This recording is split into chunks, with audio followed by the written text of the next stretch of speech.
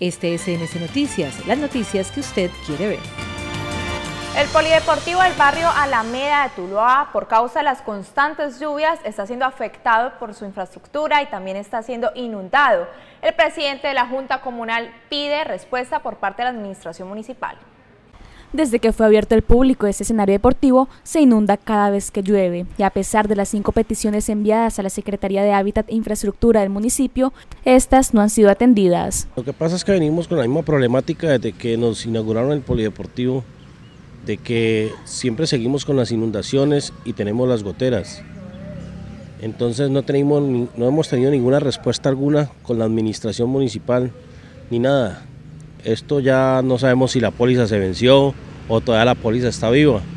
Entonces venimos haciendo esta queja formal a ver la administración en qué nos puede colaborar es con la única intención que nosotros queremos y que aquí viene mucha gente y a ver cómo nos colaboran con las baterías sanitarias. Nos toca que, pedirle la, colaboración a los deportistas y a la comunidad, que saquemos escobas todos para poder sacar la inundación porque el, el, el desnivel quedó hacia el centro, hacia el centro del polideportivo, entonces se nos inunda.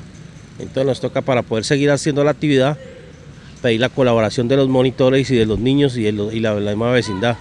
Asimismo, el estado de la pintura de la cancha se ha ido desapareciendo. Otra de las afectaciones es el mal estado de la malla protectora del lugar. Sí, tenemos las mallas también por la, de pronto por la mala calidad de la soldadura o los puntos los pegaron muy y se están deteriorando las mallas y a ver en qué nos pueden colaborar, a ver si de pronto nos pegan una reforzadita otra vez. Todas las mallas ya las vamos a mostrar aquí porque no queremos, esto es una cosa que nos la, hicieron para nosotros y estamos en pie de cuidarla y más que todo nosotros como comunidad estamos poniéndole mucha atención a esto aquí porque en otras partes ya la han dañado, nosotros no estamos aquí al pie del cañón cuidando nuestras, nuestro polideportivo.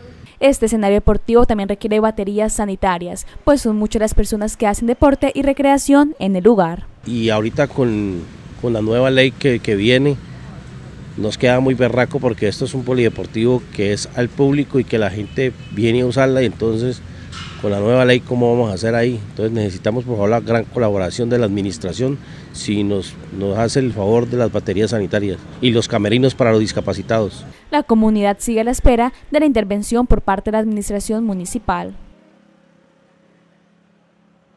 Este es NS Noticias, las noticias que usted quiere ver.